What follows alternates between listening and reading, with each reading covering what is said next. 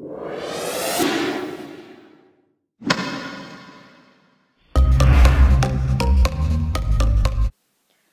everyone, it's Charlie. I hope you're all well. So welcome to another uh, movie slash TV corner series video, another episode of it. Um, I, apologies by the way that I don't seem to film my normal backdrop for this TV movie corner series anymore. But the lighting, as I've said before, is just better here right now. Um, I'll go back to my proper filming position as soon as I can, as soon as the lighting's better. Anyway, today's episode is going to be my top five Robin Williams movies. Of course, I had to do a video about Robin Williams. I know you all heard the awful, tragic news of his um, death by now. Um, and of course, you will have all heard that it was suicide, which is just horrendous.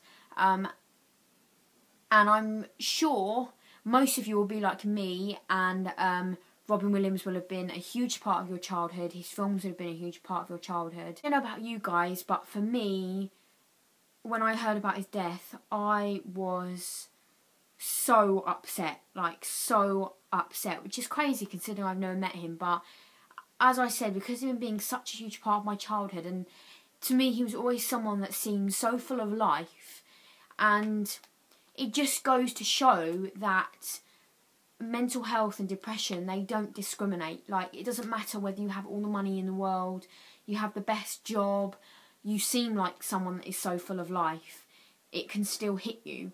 And it's just so awfully sad and it made me really angry as well because straight away after the news came out, I was hearing people saying the old like, "Oh, suicide, that's so selfish" and that kind of stuff.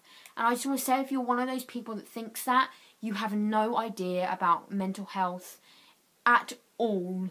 Because if you did, you would know that it doesn't leave room to think logically. You know, um, mental health. It, it doesn't leave room for any of that.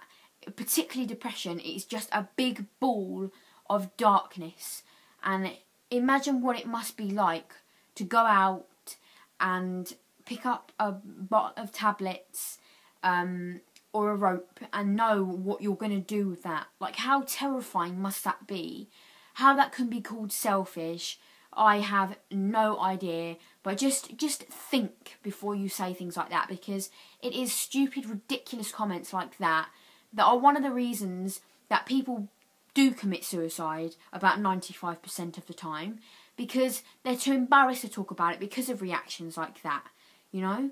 So just think about that. It just makes me angry. But anyway, that's my rant over. Um, let's go on to today's video because this is already three minutes long and I haven't even started yet. So, oh, I just want a little disclaimer here. I know people will say, how can you say that this is one of his best when he's done this one? How can you miss that one out? But for me, these are the movies that when I was a child growing up, these were the movies that had an effect on me in some way. And also, I wasn't around when some of his movies were on. So I don't know them all, but these for me are marvelous. This is just my opinion, so no hate, please. So in at number five is Jumanji.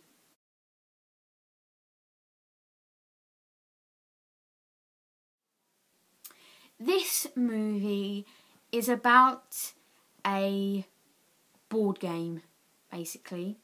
Um, and this board game, what's the best way to explain this? Basically, when you roll the dice, um, things come out of this board game. Horrible creatures, scary things, um, just a whole bunch of things come out of this board game, and the only way to send them back inside the board game is to finish it. And it starts off with a guy called Alan Parrish, a young boy. He's the first one to find this board game. Um, and he's played by Robin Williams as he gets older, obviously. But um, what happens to him as a young boy is he is sucked into this board game till somebody rolls a dice and rolls a five or an eight. Um, and that's what happens years later, and it's about him trying to, like, regain his life and finish this board game all those years later. This is just such a fantastic, action packed, thrilling um, movie. It's a it's a kids movie, but um, it's just fantastic. It's really exciting. It's a really like edge of your seat. Um, just a great, great film. I probably haven't described it in the best way, but it's kind of a difficult one to explain. I think without like saying too much, but definitely really, really enjoyed this one, and just one of the classics I think of his. So in at number four is, of course, the wonderful Mrs. Doubtfire.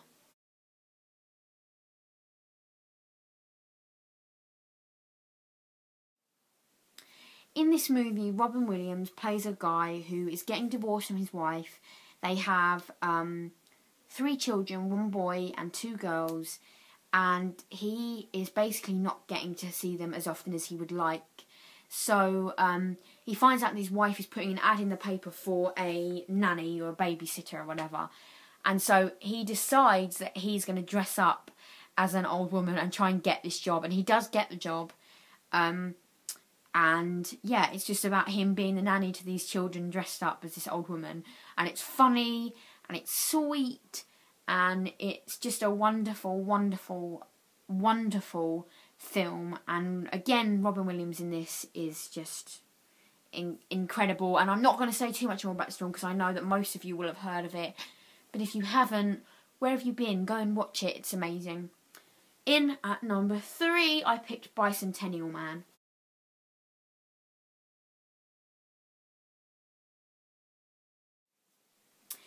In this uh, movie, he plays a robot or android robot, whatever you want to call it, um, who this family basically buy to do chores around their house. But he is very special and he is trying to learn like human emotions and stuff like that, and he's becoming almost more human. He wants to become human. This film is so beautiful. The ending makes me cry every time. It's just such a wonderful, unique film and this one really goes to show like the extent of his acting ability. Um just oh just wonderful. Just absolutely just adored this film. Um so yeah. In at number 2 is a movie called 1 Hour Photo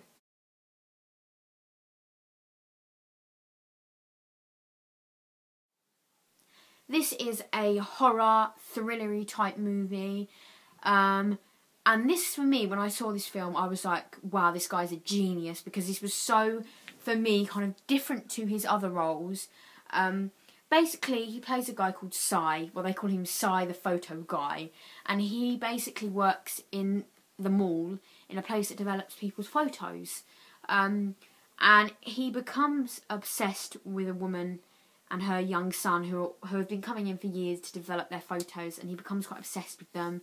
And he like prints off extra sets of their photos so that he can put them up on his wall and pretend they're his family.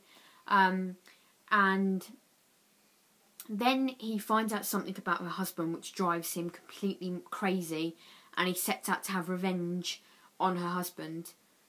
Guys i am not even kidding. In this film he is ridiculously creepy you you kind of forget about him in all of his other roles in this because it just throws you off like when you're watching him in this. It it completely just throws you off of thinking about his other roles. He is so creepy. This film is one of those films again where you're just sitting on the edge of your seat and you cannot look away. It it's very very intense super intense.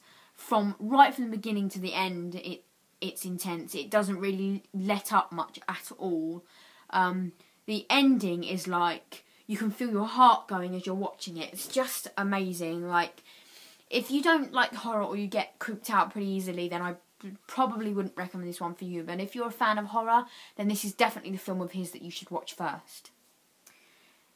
So, in at number one, my favourite Robin Williams movie of all time is a film called Jack.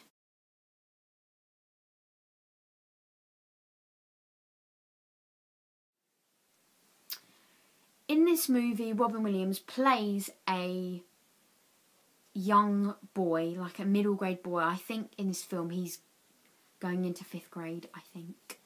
Um, but basically, he has a condition that means that his body um, ages at a more rapid rate than a normal person. So even though he is just a young boy, his body looks a hell of a lot older. He looks like a, a grown man. And in this film, he is starting at a proper school for the first time. And um, it's about his experiences there and the horrible times he goes through, the happy times he goes through. This film is so sweet. And again, it shows just how amazing of an actor that Robin Williams is.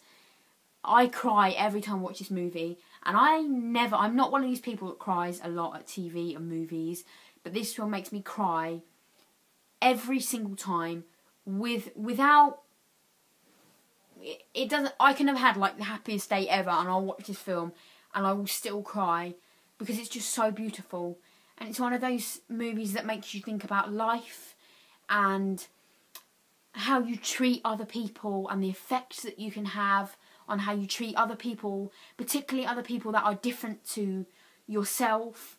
Um, and again, Robin Williams in this is just, just phenomenal. And the guy that plays the little boy that plays his best friend in this, I can never remember his name, but he's super cool as well.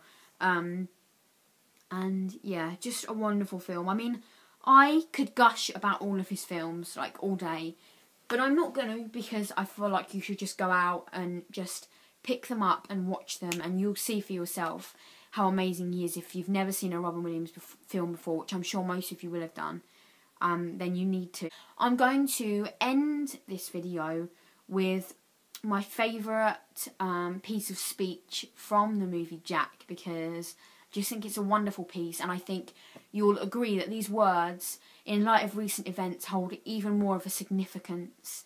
Um, so, um, if you haven't seen the film Jack, then maybe you want to might want to turn this film off now because um, I'm going to tell you which part of the film that this was from because it would make more sense then. So turn this video off now if you haven't seen it. This um, piece of speech is from right at the end of the film where he has graduated and he is doing a speech um, to all of his classmates basically and his, his family and stuff that have just graduated as well. It's at the graduation. So this is it. Hey, look at me. Please don't worry so much. Because in the end, none of us have very long on this earth. Life is fleeting. And if you're ever distressed, cast your eyes to the summer sky when the stars are strung across the velvety night, and when a shooting star streaks through the blackness, turning night into day. Make a wish, think of me, and make your life spectacular. I know I did. I made it, Mum. I'm a grown up.